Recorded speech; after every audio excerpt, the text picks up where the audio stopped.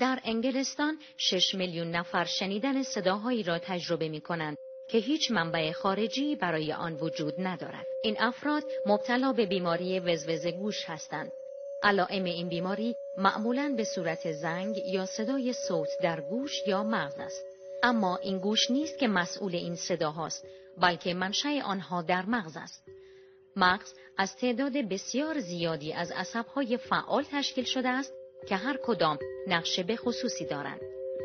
اطلاعات مربوط به صداها در یک قسمت به خصوص از مغز که کورتکس مربوط به شنوایی است فرایند می شود. این ناحیه به قسمت‌های مختلفی تقسیم شده که هر قسمت مسئول فرایند آواها به شیوه قرار گرفتن کلیدهای پیانو می باشد.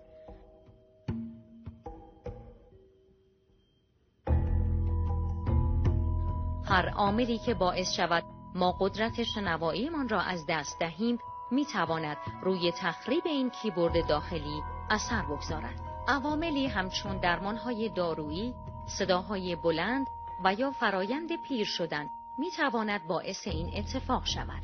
بر اثر این تخریب کاهشی در عملکرد این کیبورد اتفاق می افتد که منجر به کاهش شنوایی می شود و عصبهای تشکیل دهنده این مناطق می توانند خود به خود شروع به از بین رفتن کنند. به این حالت همگاه سازی عصبی گفته می شود.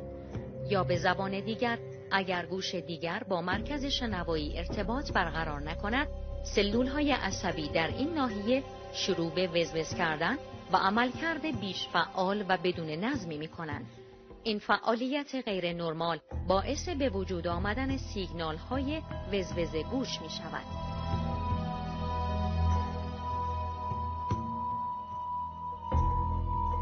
با گذشت زمان این فعالیت غیر نرمال دائم می شود. روش های تصویری مدرن این امکان را به ما می دهد تا بتوانیم فعالیت غیر عادی مرکز شنوایی و عصبها را در مرکز کنترل شنوایی مغز درک کنیم.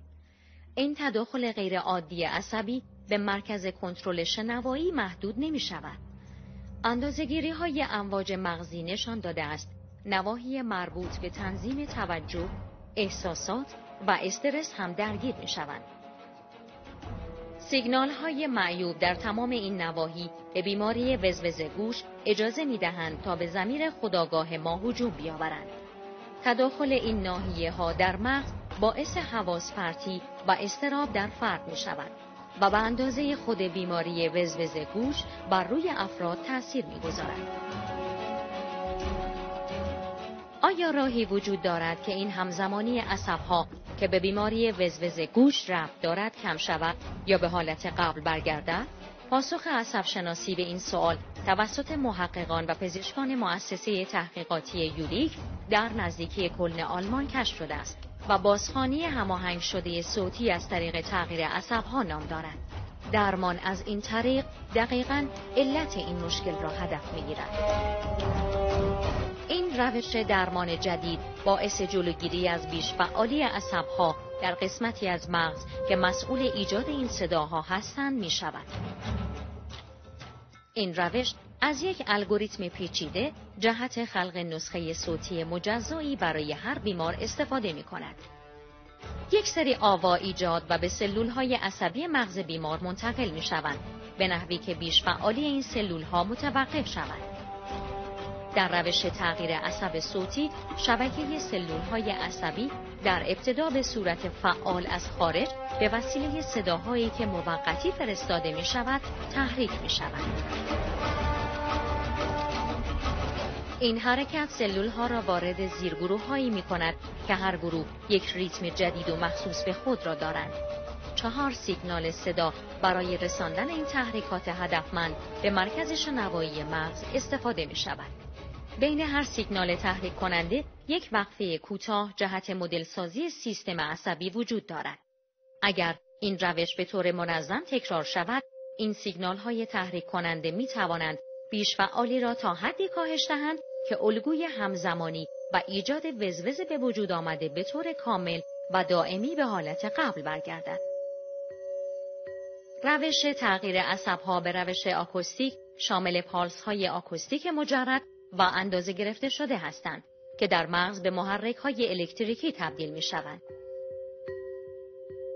صداهای آکوستیک توسط یک دستگاه به اندازه جعب کبریت تولید می شوند که شبیه ساز عصب ANM نام دارد و توسط یک هدفون پزشکی در بیماران مبتلا به وزوز گوش استفاده می شود و بین چهار تا 6 ساعت در روز مورد استفاده قرار می گیرد. این دستگاه خیلی کوچک است و به بیمار کمک می کند در حین درمان زندگی روزمره خود را داشته باشد. چگونه روش تحریک سازی آکوستیک سیستم عصبی می تواند نقاطی را که مورد نظر است را در مغز هدف بگیرد. سیگنال ها از ساختاری شبیه صفحه کلید در مرکز شنوایی در مغز استفاده می کند. محل مرکز شنوایی که در حال ایجاد وزوز و صداهای مخرب است در مغز بیمار به صورت کلید روشنتر که در اینجا نشان داده شده است مشخص می شود. حال سیگنال های آکوستیک ایجاد شده می توانند به محل صحیح هدایت شوند. در اینجا سیگنال ها الگوهای صحیح را از طریق بازگرداندن الگوها به حالت قبل سبب می شوند. این اثر را می توان اندازه گرفت. ثبت امواج مغزی تغییرات مفیدی را در فعالیت الکتریکی در نقاطی که مسئولیت شنوایی، خداگاهی و احساس دارند پس از تنها دوازده هفته از گذشت درمان نشان می دهد. اندازه های امواج مغز کاهش چشمگیر فعالیت پیوندهای آلفا و پیوندهای بتا و گاما را که در سطح بالایی بودند را نشان می دهد. پس می توان نتیجه گرفت که برهم کنش شنوایی، خداگاهی و احساسات در بیماری وزوز گوش به سمت مثبت و در جهت درمان قرار می گیرند. آگاهی مقدمه سلامتی است. سلامت